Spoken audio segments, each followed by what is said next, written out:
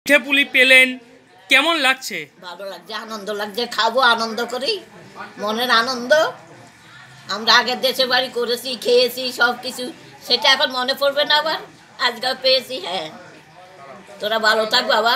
আগে যখন পিঠে পুলি করতেন সেই কথা মনে পড়ে আজকে? দুই পিঠা গোল পিঠা পুলি পিঠা হ্যাঁ। শ্বশুর শাশুড় ছিল দেখাইয়া দিত করতো এইভাবে এইভাবে করো। আমার শ্বশুর শাশুড়ি খুব ভালো ছিল।